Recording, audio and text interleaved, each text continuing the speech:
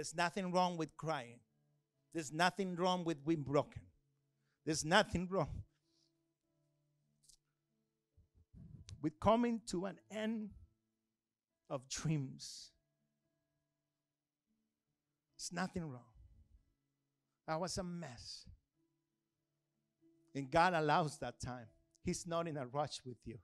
He's not saying, come on, come on, do it now. He's not in a rush. He's giving you time.